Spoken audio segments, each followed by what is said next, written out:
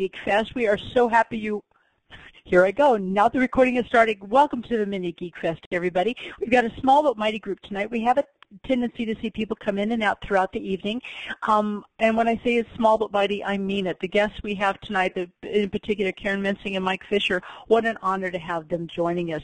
Very briefly, Mini Geek Fest, we get together, we share Web 2.0 resources at almost the 50,000 foot view. It's enough, hi Kim, it's enough to give that proverbial, proverbial potato chip where you're going to want to go out hopefully and learn more.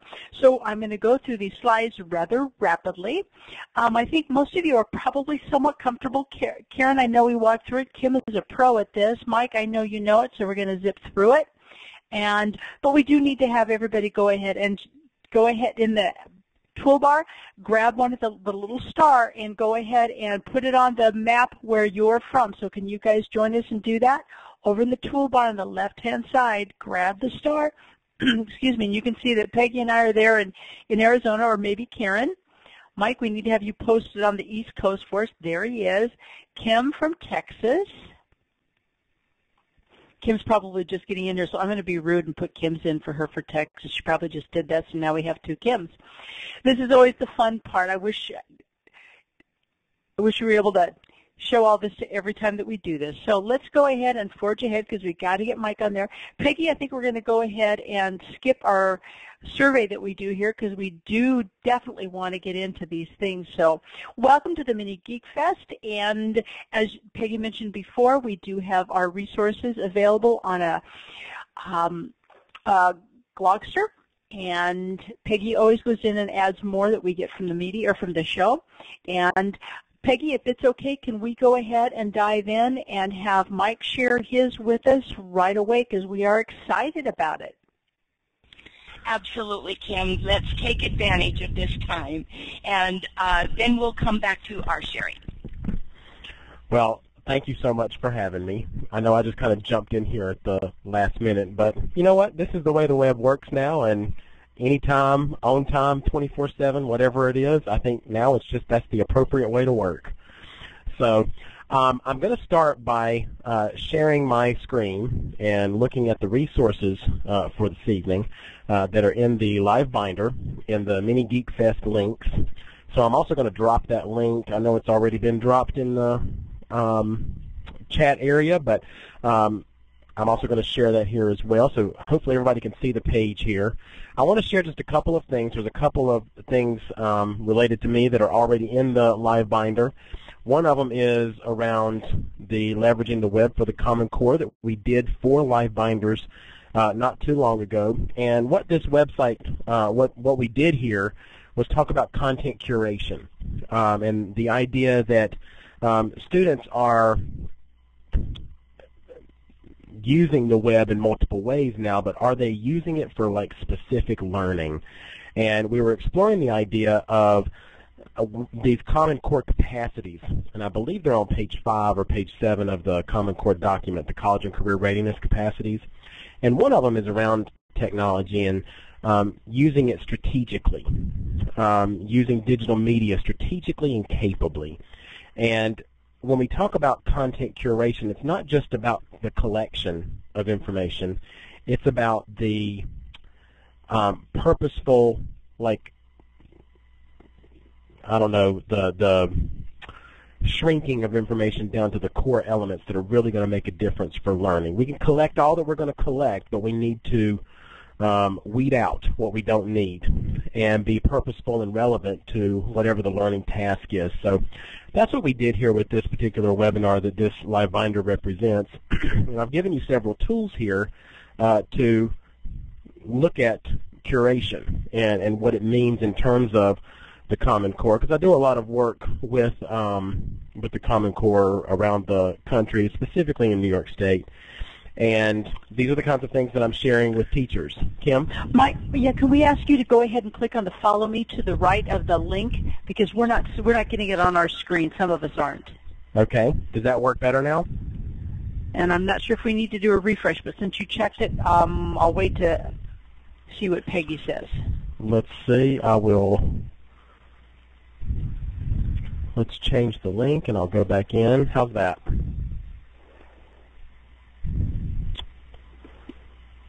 I'm not seeing anything right now, but I'm not sure if that if I'm the one that's having the. There we go. Okay, I'm going to change this again. See how quick and adept he is. My goodness, how gracious! And you click How's the follow. You there you go. Now, did you check to follow me? Yes. Okay. Okay. Let's go for it. Thank you, Mike. Okay, there we go. All right, so I'm, I'm in the live binder here. It's the one that says Common Core live binder, and this one is about content curation. And I'm actually going to jump into uh, something around curation here in just a moment. But I'm going to switch over to the other tab here, the 12 Common Core considerations. This actually came out of a college that I was working with. Um, Kim, did you, have, did you need something else? No, I'm sorry. I'm sorry, I thought you were jumping in to ask another question. I'm sorry. Um, this Common Core considerations came up from a university that I was working with that has pre-service teachers, and I've been doing some work with them. It's Niagara University um, here outside of just north of Buffalo. And I go in and work with their pre-service teachers and their faculty on integrating the Common Core into their their professional practice now as they're learning to become teachers and go ahead and get them set up in the right way so that when they get out into the field, um, you know, they're prepared. So that's what this was, but it was around the 12 days of Christmas, but so that it was relevant for um, an audience after Christmas, I changed it to 12 Common Core considerations. So that's what you're looking at here. There's a lot of information uh, in this binder um, around things that are going on nationally around the Common Core, and just 12 of the things that kind of come up everywhere I work. Uh, questions that teachers have, resources that they need, and I put them together in terms of these 12 things to look at. So what I'm going to do is actually jump out of Live Binders now and come back to uh, just one specific tool called Pinterest. I'm sure some of you have heard of it before.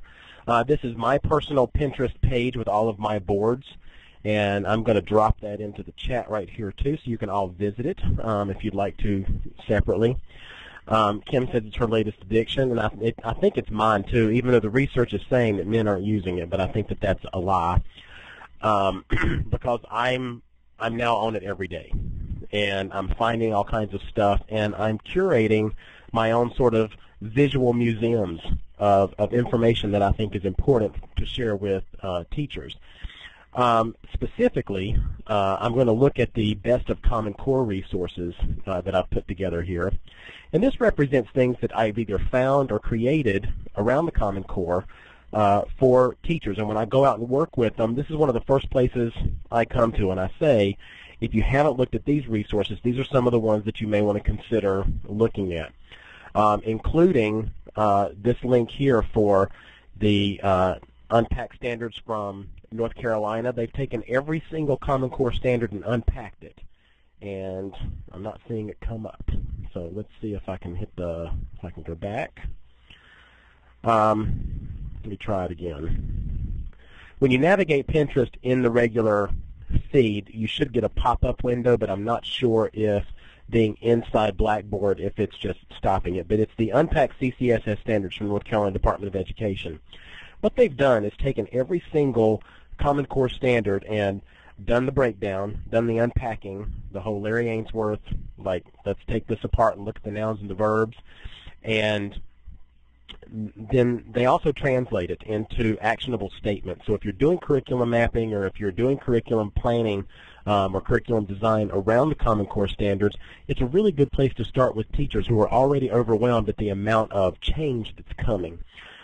So Uh, so Kim's writing, did you see the article on HuffPost about Common Core lesson plans being a waste and not following best practice? I didn't see that, but I will tell you that a lot of the work that we're doing is, hmm, what's the nicest way to say this? Um, a scaffold. um, teachers can't go from 0 to 60 in one fell swoop just because the government would like for them to. Um, and so one of the things that is is a better idea is to introduce them to design elements that they may not have considered before and start getting them to what uh, Janet Hale and I call this zone of transformation and moving from conforming to transforming. And during that process, we move from things that are more teacher-centered all the way up to things that are more student-centered and focus on the key thing, if we were to boil down the Common Core to one key idea, one key thing, it's going to be the word thinking. And that's a big shift for a lot of teachers because they believe that that one thing is content. And the content is moot if the kids aren't thinking about it. So that's what curriculum design is, whether it's a lesson plan, which I really don't advocate for anymore. I like lessons, plans, or lesson experiences that are not time dependent. But um, when we think about unit planning and we think about um, you know what what it is we're trying to get our kids to, what do they need to know and be able to do? It's not a worksheet. It's not computer lab time on Thursday. It's deep thinking. And these are my resources for getting there, including, um, I don't know what the Huffington Post said, and, well, that's not going to come up either. Um, but on here, it, one of my posts is called, a, I wrote a blog post on unit appraisal, um, asking teachers to be clear. So I want them to have clarity in what they're writing. I want them to um, have lively instruction. I want them to pro provide evidence that their kids are learning something. I want there to be alignment between the standards, the assessments, the skills, the content. Um, and I want there to be rigorous instruction. I want it to be robust. I want it to be hearty and meaty. So you can read the blog post there. I'm having some trouble clicking around on this inside Blackboard, but there's tons of stuff here for, for you to explore. Um, so maybe it is just slow loading, you mean. Um, professionalism. Um, I said to a, a parent today, um, I was talking to a group of people, and a, a parent was explaining her situation with her son, who's a seventh grade student and having trouble in math. And the teacher is very uh, traditional, and the kid's having trouble. He's not learning in this sort of linear progression that the teacher is expecting. And what the Common Core is asking is not necessarily that we engage that linear progression anymore. We need to dig deep. We need to go a mile wide and I'm sorry, a mile deep and an inch wide, um, and focus on not just the destination, but the multiple journeys that get us to that destination, and possibly cutting the things that, that are comfortable for us and moving in the direction of um, creating opportunities and creating engagement and motivation for these students um, one of the things here in Buffalo that's been in the news is attendance. And the teachers are up in arms about it. Of course, the county's up in arms about it. The, the state government is up in arms about it. And funding um, is, is questionable right now. But the kids are bored. And if they're bored, well, I don't think that we have to be circus performers. We don't have to entertain the kids. We need, we do need to be aware that these are 21st century kids. They're being educated with a 19th century structure and a 20th century curriculum. And if we don't up our game, it's over. So I see people mentioning the, the iBook right now. Uh, the Apple Store and I are having some conversations. And the book right now currently is not on the Apple Store, but it is on my website, digigogy.com. Um, and it's half price actually right now while we figure out what's going on with Apple. So you can download it right from our web website down to your device without going to the Apple Store. Um, and as soon as it's back up on the Apple Store, then I'll take it back off my website and just route everything through Apple. So I'm going to stop now and relinquish control. I wanted to pop in here for a few minutes and uh, be a part of this. So I really thank you for letting me come in, and um, I'll stick around for a few minutes if anybody has any questions. I think I speak for everybody. When I can't write fast enough, I can't keep enough bookmarks going. Mike, this has just been so eye-opening. And I have to say, for Pinterest, it I'm not big on Twitter. I don't do it much, but Pinterest is the visual museum or visual, whatever you refer to it, that sticks with me, that resounds with me because I'm very visual. I will be repinning what you're doing. Thank you so much. This is awesome. And I think everybody goes, woo, as we're doing this. So thank you so much. Okay. Thank before you. I Thank go, you for having me. Let, wait, before you go, Mike, let's see if there's any questions. You can either raise your hand if you have a question or you can type it into the chat. We got a woo-hoo. Okay. okay? Thank you, Carolyn. Okay. At this point, I think we'll probably let you go, Mike. Um, best of best of luck on your new child. When does your wife due? Um, she's due October 2nd, but I bought my uh, Madonna tickets for September 12th, so I think that's the new due date. okay, I'm, to composure, composure. Mike, thank you so much. Okay. You're welcome. You You're welcome. Thank you. Bye-bye. Okay, what a hard act to follow, you guys. Um, welcome to everybody that has joined us. We appreciate it so much. I'm going to keep mine relatively simple on the first one, guys. It's They Don't Teach You This in School. Came across it. What it is is a series of videos that people are posting. It started by a young man in New Zealand, or he looks young, but once you hit 50, everybody looks young. Um, and it's a library of life, life lessons and advice, and one of them it says the people are stupid, so of course it drew my attention. It's people from all professions, and you can go in and you can do a search. You can see the different um, areas here for business, careers, education. There's not a lot in it right now. I, I, I'm going to follow this to see if there's um, it starts to build some. So I think there might be some that teachers can attach to and maybe show their students. So check it out. It's They Don't Teach You This in School. Okay. Okay. Um, thank you, Peggy. Let's go ahead and head off to our next one here. This is one that has the cute factor. And as I say, um, somewhere in my notes I made the comment, I think it's on the wiki, that you shouldn't go for the cute factor. But guys, this is just so darn cute, and I'm not going to take a lot of time. You can see this yourself. Um, you No login required. It's easy to use, and as you can see on the left-hand side of the screen here, you can either have it say the sound, the sound of the animal, and um, or the the the animal itself, say the word alligator it's okay. I mean, it's definitely only got the kindergarten factor there. But what I like is you can go ahead and you can do flashcards, you can do a poster, and then you can use their alphabet like the Mini Geek Fest, and I could put that on a T-shirt or a coffee mug, and for every article purchased through them, they buy a book um, for children in Africa. So I just think it's got a cute factor. To check it out. Like I said, flashcards, coloring pages, wall poster, and of course I had to make a little um, T-shirt with my grandson's name on it because that's what grandparents do. We spend money on completely useless things because we can. Okay, so I hope everybody will give it a try and check it out. Um, wait a minute, Mike said related iPad app. Mike, is this related to the um, the alphabet animals? Not not to this site specifically, but Okay. another one that came around about like the alphabet and the kids like interacting with it, and uh, it was a company that contacted me today, and we played with it all afternoon. So How just thought fun. I'd share that. So a Okay. little more geekiness. There you go. And Peggy, I'm saying this out loud, cool iPad app because Peggy knows how I feel. I'm kind of a droid person. So we're going on to the next one now. Um, I'm going to shut up here in just a minute, but Adam Bellow rocks the house. I got to meet him last year thanks to Peggy. I am a follower of, a follower of his. I have used some of his webinars for professional development in Madison, and with that being said, I'm going to shut up. Peggy, it's all yours. You're so funny. And uh, I thought you were going to take my thunder and say everything I was going to say about Adam. because we both think he rocks and he does so many amazing things for teachers. But I got to participate in his uh, recent ISTE webinar, I think it was just last week, called More Cool Tools for Teachers.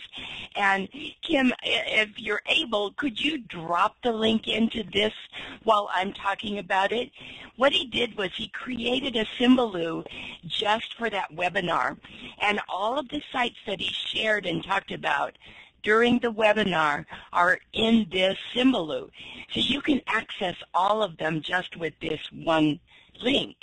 And uh, he just shared some wonderful tools. And you know how great he is at creating those little short video um, clips that in less than five minutes tell you everything you need to know about the app or the tool to be able to get started with it. He's just such a great resource. So I wanted to share that as one of my links tonight, and Kim has posted the link there. And the next one was one that he shared in that webinar, which is one that I actually learned about from Kim Caise quite some time ago. And I wanted to include it specifically because I know a lot of you are used to using Poll Everywhere. And Mentimeter does the same thing. It's a polling tool. Totally free. You don't have to register for it. And the great thing about it is that you can get up to 200 participants in a poll. Whereas with Poll Everywhere, if you're using their free version, you can only get 30 people. So if you're part of an audience that's a very big audience at a conference, and you're number 31, your vote doesn't get counted. So I love this resource, and I want you to uh, check it out.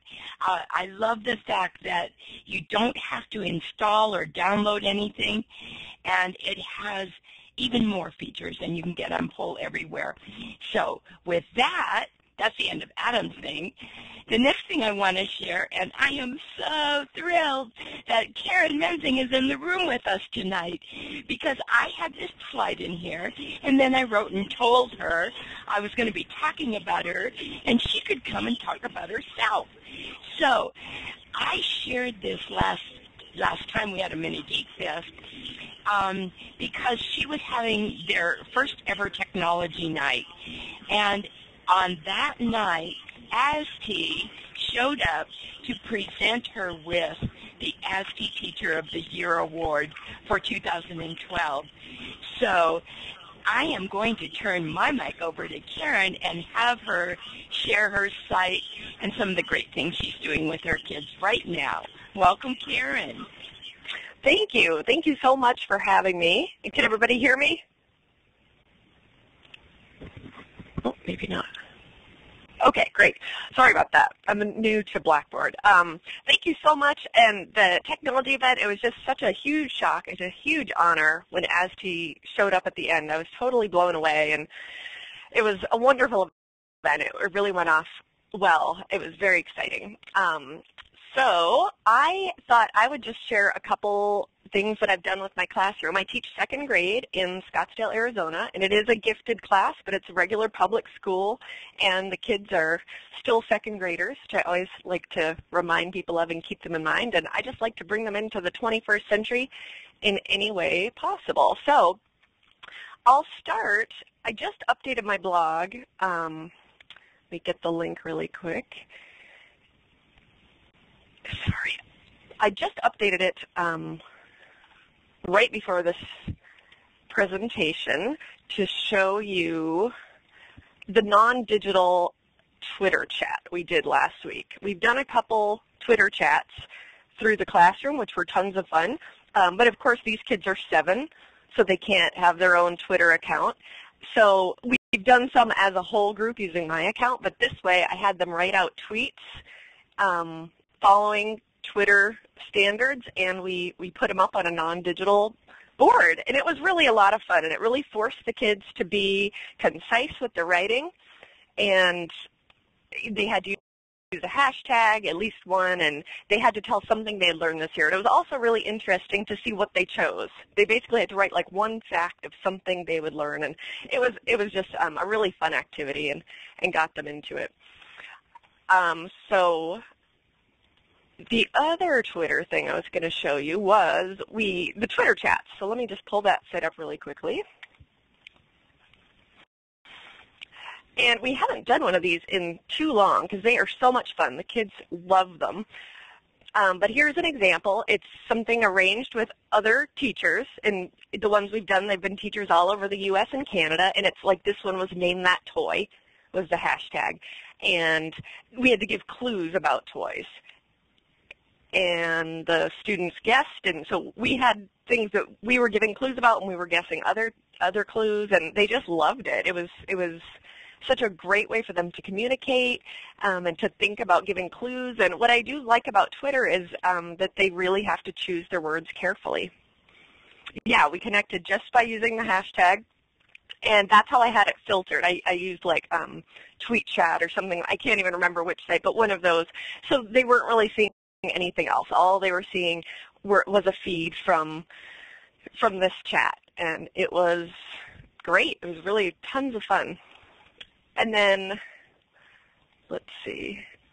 Okay, so that's that'll sum up my, my Twitter portion. Then the other thing I wanted to mention, just because it was so cool, was we earlier this year did a a Google Plus Hangout, which I love everything Google, with a lady known as the Daring Librarian, who is just phenomenal. If you're not following her anywhere, you definitely should be because her stuff is so cool. Here is the post she did. So we each did a blog post about our hangout, which was just interesting to uh, compare. And basically, so we hung out with her, and she did this whole lesson with my class on using QR codes and embedded a slideshow and had them holding up um, devices to scan her QR codes to learn about them, and it was just amazing. I mean, it was she ran the whole lesson from Washington, D.C., and I just happened to be in the room watching. The kids were totally engaged. They were totally captivated. I mean, it was just a phenomenal lesson, and the kids were so excited about it. And I quickly realized anything that I um, in include QR codes with, they're suddenly so, so excited. So we came up with a really neat project a little bit after that. Um, I've had them use QR codes a couple times for spelling homework, for reports, for different things. Um, but this was one of our earlier projects that I blogged about that was um, Valentine's Day. They all made a traditional Valentine. And I found a really neat program to make the words go in a heart shape. So they had to write a letter, and they could give the Valentine to whoever they wanted. I think they all chose their parents.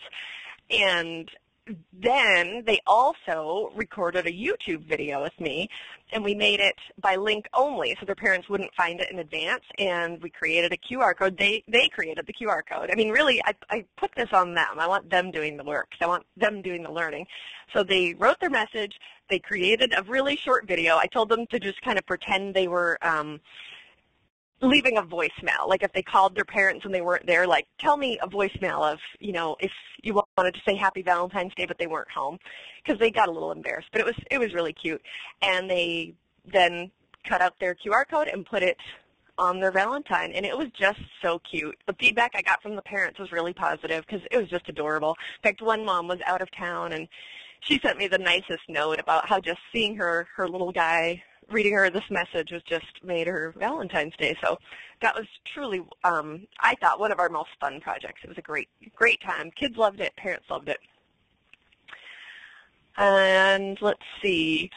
I think the, I guess the one other thing I was going to mention is just YouTube in general, which I love using. Um, I always want to stress that I'm not just playing videos all day by any means, I like to insert um, short clips, like short clips that will enhance a lesson, especially, well, I would say especially in science, but really it works with anything. Um, but I know a lot of schools do ban YouTube. I'm very lucky I work in the Paradise Valley Unified School District. It's pretty progressive, and it is not blocked here. Although if you do work in a district where it is blocked, you can sign up for something called YouTube for Schools, and it will if you go to YouTube com slash schools and it will um, kind of guide you through getting parts of it unblocked just for your school. It's really cool. So this was a really great article and I thought it was really great because I was mentioned in it, which was so exciting. But it was a really exciting article about just YouTube being um, more ed tech friendly and really trying to work with schools. You know, parents and, and really lots of people think of YouTube is just um, like silly cat videos or just completely inappropriate things, and it's not at all. There is so there's so many amazing YouTube sites out there that are just incredible for the classroom. Um, if you go, I'll put in my YouTube channel really quickly. I've got some, and I also another great feature of YouTube is you can create um, like playlists. So all the time I'm working on little playlists that I post for parents, I post for kids, or I can just go back to if you know, so I'm not fumbling through something. And, and I find you know my playlist of math songs or my playlist of um, you know, whatever we happen to be studying about, and it just makes it very easy. So that kind of sums up what I was going to talk about. I, I love YouTube. I love QR codes. I love Twitter. I love I love bringing any technology into my classroom. And um, if it's free, it's even better. And I definitely like kids to be, I, I don't like the excuse the kids are too little, the kids can't do it. They absolutely can. I think if you set the bar high, they rise to it for sure.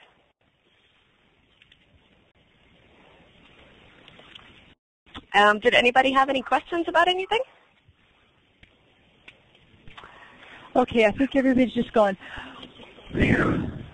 oh my goodness. Karen, you're a hard one to keep up with. Um, just amazing, amazing stuff. When do you sleep? uh, well, I really don't. Sorry, this YouTube video is playing and it's totally distracting me. So I can't figure out how to get it to stop. Well, um, Karen, I Um, hope yeah, we not see a lot of sleep. I hope we see more of you at conferences um, because you just have a wealth of information to share. And as I'm sitting here, I'm writing down teachers that I, I want to get in contact with you to to start to. They're ready for that leap, but because I'm not in the classroom, I don't get to sit down and go over things with them. And I just think it's amazing. And as Peggy would say, now you all know why she's Arizona, or as te- Arizona Teacher of the Year. So, Karen, you rock the house. Thank you so much. Please don't leave. You probably have some other things you want to share with us later. Oh, thank Okay. you so much, and thank you, everybody. Thanks. Bye. Okay.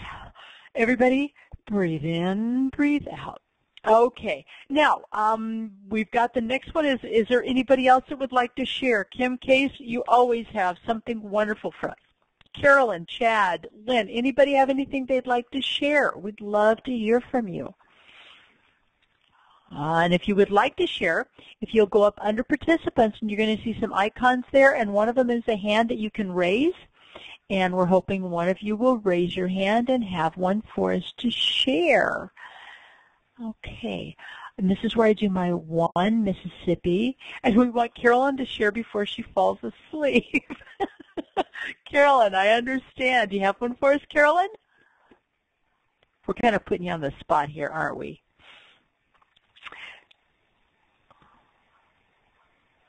Okay, she's sharing here that I want to take the mic, but I want to tell you that I helped a teacher with Storybird with her kids. Don't you love Storybird? And it was, it is, it is awesome, Kim. Um, I've actually worked with a seventh grade gifted teacher. They're in our REACH program. These kids are at the 98th percentile and everything. They loved Storybird. So, and we're asking for your link to your blog, Carolyn, if we can. Yay, okay. So, they did alligator alligaration stories. I'm not sure if I'm reading that right. So thank you, and we'll put that into the links as well, Carolyn. Thank you. Alliteration, thank you. It's yeah, obviously I need the coffee. Okay, guys, we want you to be thinking about something you want to share. I'm going to kind of go quickly for Jog the Web. Came across this, and it's what I like about it is you can create a slide of websites. And I'm sure many of you have seen stuff like this. Kim already knows about it. Yay. You register for an account. They're easy to build. So let me go ahead and see if I can get over here. And I'm just going to take you to, it helps if you actually have the link, doesn't it? So let me get to the link there for you guys. Just to show you a little bit here. And hopefully it's going to come up. We've had kind of an iffy night. I'm not going to log in on this.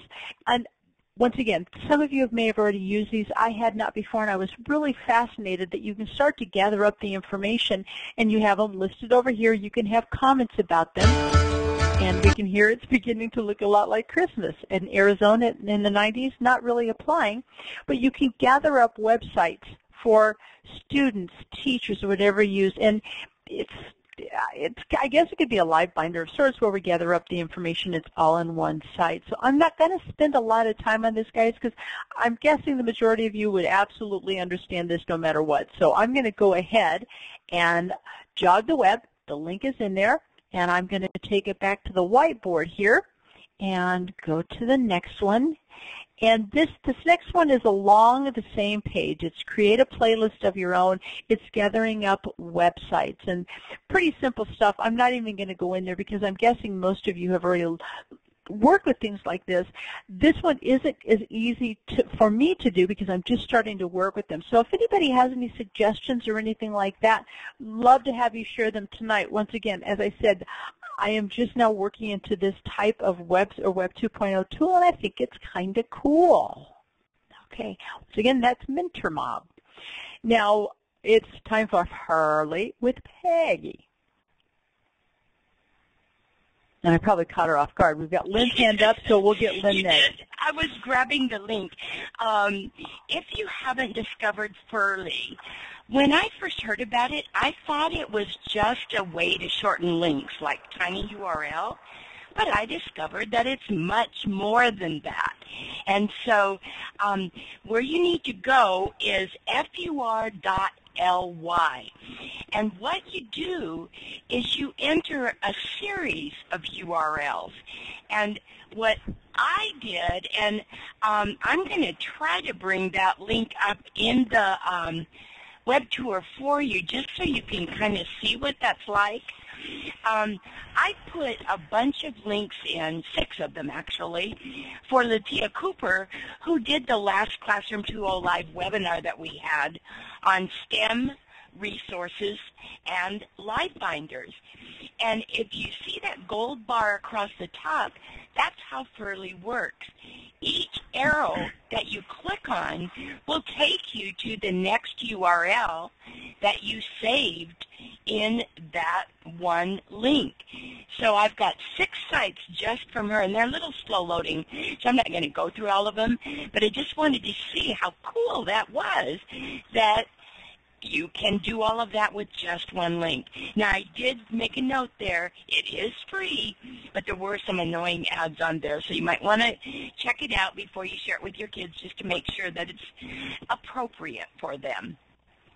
And the next thing I wanted to tell you about is Gorilla Scan. Now, this is really amazing if you're using QR codes and maybe if you uh, use them in a fairly permanent way like having them up around your campus and wanting to send people to different places, maybe like a scavenger hunt, but maybe just to, as a way to find something. But you don't want to print all those uh, up and laminate them and put them around only to find that you need to change the link on them and do it all again. Gorilla Scan does that for you. And you can um, scan your code once and then you can go back in and change the place where that code it will take you to, and you don't have to print it out again. So it's a way of keeping your QR codes current. So I will add that link in the chat after we have some sharing from some others. Looks like Lynn's ready to share with us, Peg. You have your mic? Go ahead and click on Talk, Lynn. I think you're all set.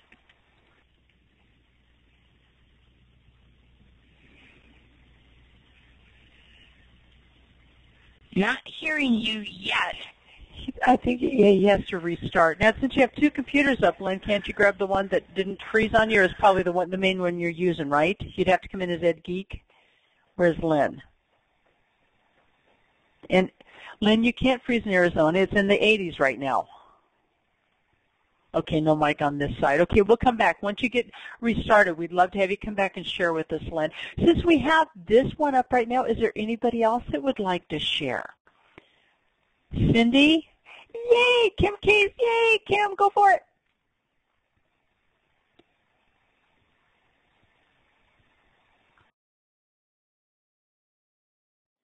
QR voice is the one that we mentioned earlier, and that is where you it's text to speech, and then it creates um, a QR code, and it's limited to you type it in, and you can type it in whichever language, whichever language you type it in, it's going to read that text in that language, and it's limited to I think 100 characters. But then whatever you type in, um, when they scan it, it's going to read back whatever you typed in um, when that whenever they scan that that QR code. Um, what else I wanted to share was, let me go back and find it, was um, History Pin. You were talking about pin. I don't know if you've seen this before. you can kind of make pins um, throughout a map. And I thought that was pretty cool. Kim, do you mind if we bring it up in web tour? No, please do.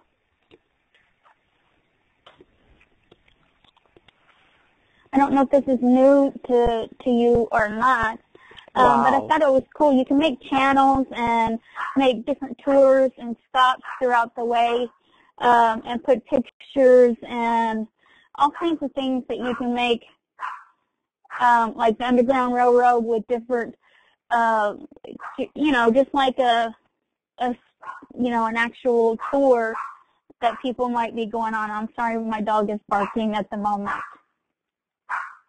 Would this be something that you could let fourth or fifth graders get them in on there and let them just play to learn it? Would you be would it be a safe thing to do, Kim? Yes, they can do that. They can also explore some of the history pins that have already been created as well as create their own. You can create it for your students as well as let your students create it.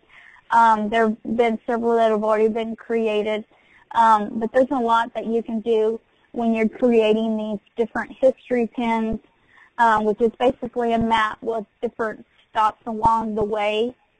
Um, with you can add in um, audio clips, speeches um, from the past, different pictures, old pictures that you might find, historical pictures, um, all kinds of different video clips. This would be great for some of the discovery um, images if you have access to some of the discovery or the old um, library archives, some of those kinds of things, historical archives, um, those types of things that you might want to add in. And I thought that was really cool the, when you started to show this, I have to tell you, purely non-educational, but I'd love to do something like this for my mother's birthday.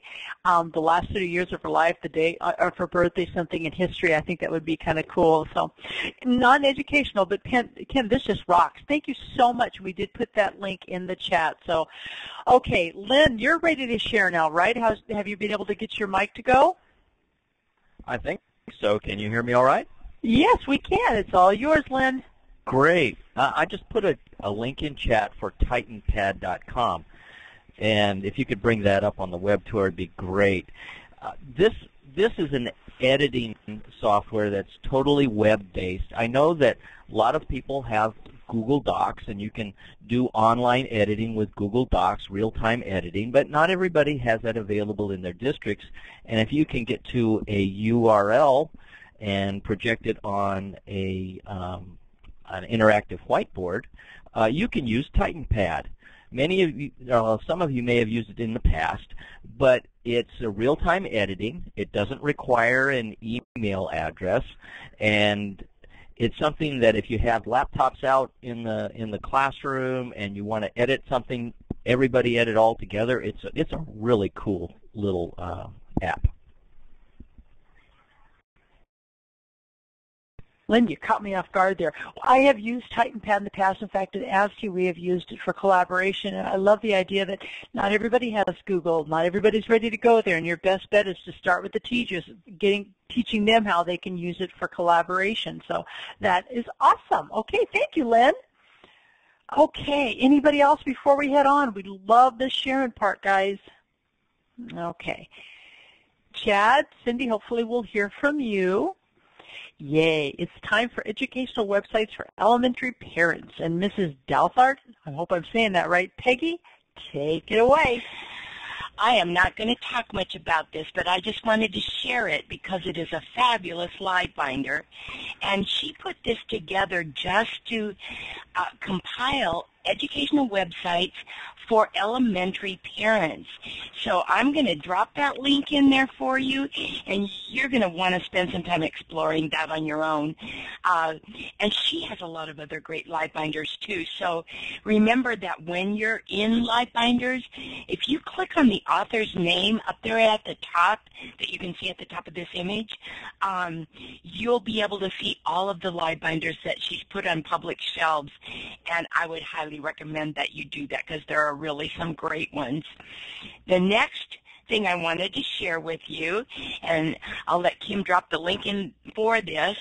Um, just recently, Lorna Costantini and I, who are co hosts along with Kim Caise on Classroom 2.0 Live, Lorna and I did this Moodle Meet with uh, Learn Now BC, all about screencasting in the flipped classroom.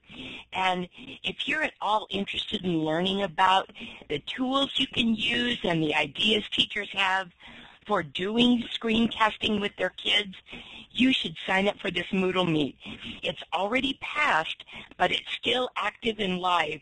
You can access all of the resources totally free, and it will also take you to our um, uh, Scoop It that I created just for this Moodle Meet, and it's just been growing and growing for about six months now. So there are lots of resources there that you can explore. Um, if that's a topic you're interested in, and flipped classroom is definitely becoming a very hot topic these days, and lots more teachers are willing to give it a try without going all the way with it, but just trying it out. And the teachers, I think, that are especially having good results with it are those that are having their kids create some of the screencasts. So you'll find tools, tutorials, examples, lots of resources on that Moodle Meet. And Kim, this one's yours. Okay, Peg, before we go there, the one thing, and I'd like you to speak for just a minute about it. I don't know if we have anybody new to the show that does not know about your Classroom Live 2.0. Um, if you guys don't know about it, this this show is in incredible. You have to be prepared, have a full cup of coffee because you're going to sit down and you're going to learn so much and you just want to be completely aware. One of my favorite shows, inevitably on Saturdays, I am busy, but I do listen to the podcast while I'm walking my dog first thing in the morning. One of the greatest resources for what's going on, what's new, what's happening, and resources. And I even use it in the Madison School District for professional development. It's just top-notch stuff with great resources. So that commercial message brought to you by Kim Thomas. okay, sorry about that. Side Vibe. I'm not going to take you to the website on this, guys, because I just don't feel like I'm as knowledgeable about as I should be to, um, to really walk you through. This is just going to be one of those, thank you, Kim. Um, here, look at this. Um, you can go in and set up web pages for students it's a little bit more, it's a little bit more difficult upfront learning. But I have to tell you, as I said in the bottom bullet, if anybody knows Melody Brewer from Dysart, she is remarkable, and she attended our MICE meeting virtually a couple weeks ago. For those of you who don't know, in Madison, we work with, I have a group of teachers, MICE, Madison Integrating Computer Education, and we meet one Saturday a month, and Melody from Dysart Skyped in to join our meeting. Lynn has already come and been at one of our meetings, and Melody shared this, and that was good enough for me but sadly I do not, I haven't had the time to look at it. So if that's what you want to do, check it out. I just think there, I think there's great, great possibilities. They do have the tutorials. You have to go from an activity to a vibe, and you really need to concentrate on what you're doing. So hopefully you'll try that out. My next one, another Melody Brewer recommendation. I absolutely think this one is incredible. It's free, and I don't know about you guys, but AIMS is next week. And man, for the school district I'm at, it's all about bringing up those math scores and is Arizona hitting safe harbor and all those other words that just make you shudder. TenMarks, you can sign up for free. You set up your accounts, and what I really like about it is, and you notice my group, it's Bob Hope and Harper Marks. I had to play around you set up your students, they get their login, they go in. You can go in and pull number sense if you want to. And you assign it to the students, and the students can get a hint or a video. And if every time they take a hint or a video, it's recorded, so when you look at their results, you see how long they took, how many they got right, how many they got wrong, how many times they checked the hint, how many times they went to the video. Um, I assigned myself some math and did it. I miss doing math, and that's so, so sad. But I think it's um, it's really good. Now, Lynn wants, um, he also said that, are you talking when you say simple but to use but lacks some features? If you're talking about TenMarks, I'm not sure you'd have to share that with us. What I don't like or I haven't figured out yet is how I can go in and preview what the students are going to be doing. So that's, that may be the fault of the program. It may be that I haven't invested all the time that I truly should. Okay. Um, Lynn in the chat here is talking about another screencast tool called GoView. Got it in there. And let's see, do we, Lynn, do you want to show that? Is there anybody that has anything they'd like to share? Greg? Okay, he's talking to Lynn, so yay, Greg. Okay, take the mic, sir.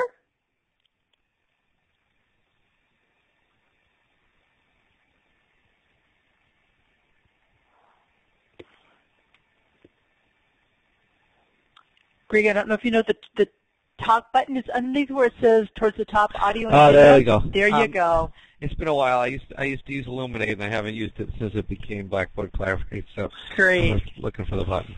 Um, yeah, no, I um, I, I see. I'm sitting here and I'm looking at this tonight, and I'm just thinking, and not to try and promote what I do on my site, because that's not why I'm here tonight. I'm here to pick up some ideas. But the problem is, I keep thinking back to my district where I'm trying to help uh, number of thousands of teachers uh, integrate technology, and they're all just so busy. I mean, you guys talk about the need to, to, to bring test scores, and, and we're throwing out all these great websites, but for the majority of these teachers, there's some of them working two jobs uh, just to make ends meet, and going home and searching the internet for, for hours to find these great sites or sit in a webinar is just too time consuming.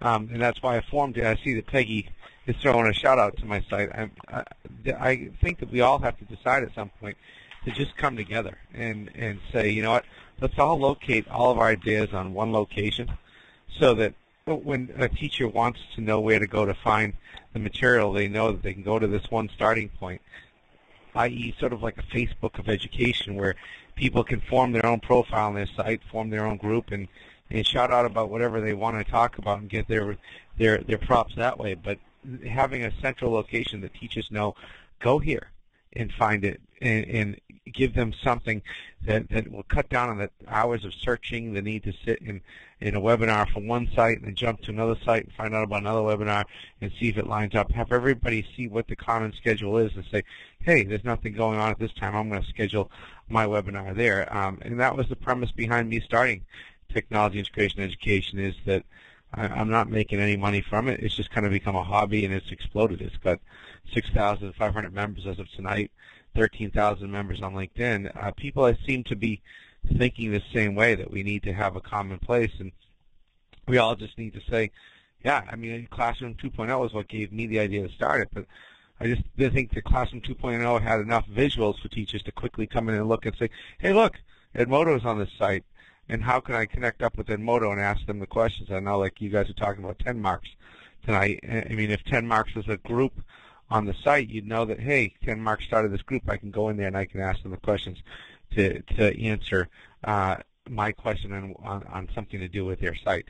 Uh, so that's why I, I, you know, I don't know, I, I can't say enough about whether it's my site, it's Classroom 2.0, it's someone that is going to have to at some point take the lead and say, let's make this a starting point where all educators go to get what they need to to start and go off from there so that I know when I need some other thing, maybe I'm looking to do digital storytelling. And hey, look, there's the Glogster here on this site. But you know, I need some other resources. So, uh, hey, look, Discovery Education, what's that? Oh, good, I got to tell my district about signing up for Discovery Education so I can have some videos to put in my blog. Or everything located in one central location and, and people constantly keep coming back to that starting hub and going back out to these other great websites I think is essential. Um, so it's great that we're sharing these ideas tonight, but you know I share them on my site.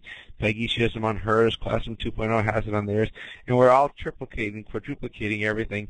And, and a teacher's coming across the same idea five or six times after searching hours instead of coming across it once in one central location. Greg, as I said in, the chat there, I think we all agree with you. You're preaching to the choir, and that's the toughest yeah. part is with all the resources out there, how do we bring them together? And that's, Peggy refers to this quite often, and she couldn't say it enough, the PLNs. That is, that's where I go to my PEEPs. My P, that's PEEPs Learning Network is what I would probably refer to it as. And it takes, like anything else, it takes a while to help build that with your teachers because you're right. They may not be able to go on a Monday night and be part of the webinar. They've got children. They're working on their masters. They're working on their national boards. They're working whatever. And the beauty of it is, and the frustration, that is our job. We need to share that with them, but it's always finding just that right time to find those resources which are going to fit in with them. It's a challenge, and I hope it doesn't go away because when it goes away, that means we're either at a stable or we're at a place about without any growth. So I'm getting on a soapbox, so I am going to quit it now. Greg, thank you so much for sharing. It's important what you said. Thank you. Okay, now, and Greg, you go ahead and turn your mic off if you haven't already. Thank you. And Peggy, um, recent LiveBinder webinar. I don't have to say one word about these slides because we had the real deal here. And Mike Fisher was on at the beginning, if any of you happen to miss him. And he's already told us about both the LiveBinder webinar that he did on the Common Core and uh, the next uh, actually he shared many of his resources there. So those are in the LiveBinder, and you can check them out later. But it's just so funny. We're talking about PLNs, and I was just feeling so strongly about them that I put a whole slide in here about this tonight. And um, through the power of my own personal learning network, I was invited to do a webinar for the administrators in California on TICAL. And what I decided to do is something that's similar to what Greg was just talking about, which was to just pull together some resources for the administrators that would help them find free professional development for their teachers and for their colleagues that they could begin to explore. So I did a one-hour webinar on it, and as a result of doing that webinar, someone else saw it and asked me if I would come on and do a podcast with video via Google Hangout, and this is coming up in a couple of weeks, and it's on the Tightwad Teacher Podcast. If you haven't discovered that, you need to discover it because they're doing some really fun things. And I love the way they're starting to use these tools. So they connect on Google Hangout, but then they stream it out so others can enjoy it and, and uh, view it in a recording later. So that's my big shout out to my PLN. And coming up, in case you have not heard about this, this is going to be an awesome day of free professional development. The Social Learning Summit is um, going to be a new adventure that takes what used to be the Discovery Education Spring Conference and is bringing it together with Classroom 2.0. And this is, we're celebrating the fifth anniversary of Classroom 2.0, and so much has happened there since it first uh, was created by Steve Hargadon. But people are submitting their presentations 30 minutes in length, and there are, gosh, there may be a hundred presentations already submitted. And so you just show up that day, and, and I'll be dropping that link in here, but it's also in the LiveBinder, and choose the sessions you want to go to. But all of them will be recorded. So we're going to have another great repertoire of resources that we can explore on current topics related to technology and education. And so with that, do we have anyone else that would like to take the mic one more time? We have about one minute to go before wrap up.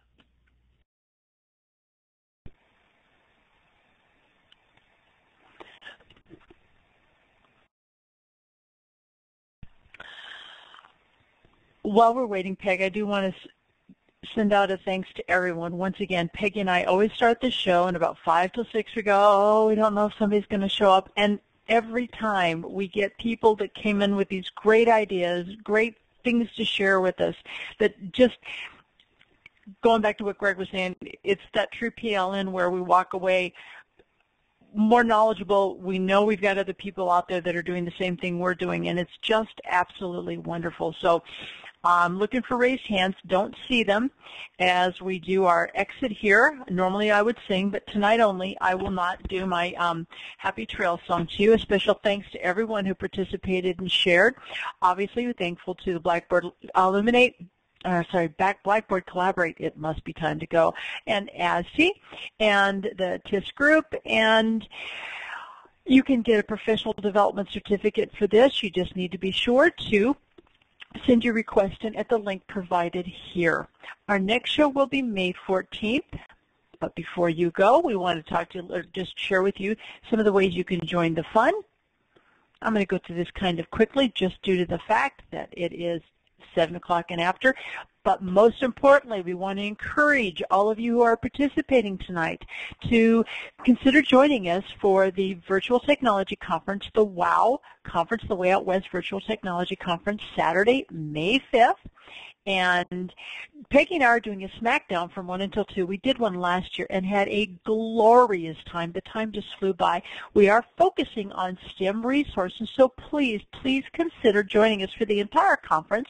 But to be selfish, we really would like you guys to consider joining us for the SmackDown that day, and there is a link that will be available you can go ahead, a Google form, fill out what you'd like to share with us, and then you'll be doing a slide ahead of time and getting it into us. Peggy, I know I'm going kind of fast. Is there anything you want to add in in regards to the um, STEAM, Steaming Ahead with Common Core conference? I think you've done a great job of covering it, and the the site will be live in the next couple of days. So uh, it's all hosted on Moodle. So We'll be giving you all of the information you need there, and we'll be sending that out, and I will post that in our LiveBinder later. But you've got it covered, and I would love to have you guys come and bring a link to share in the SmackDown. And the whole thing is free. The entire day is free. It's all done in Blackboard Collaborate. So once you join the Moodle, you'll have access to all of the links. So we'd love to see you. Great. Okay. And once again, join us next month. Grow your own PLN. Be part of our PLN. We appreciate it, and I think it's time to call it a night. And will the SmackDown be free? Yes, it's always free because we're tightwads, just like Peggy's podcast. We love it. Happy trails, everyone, and thank you so much. Good night.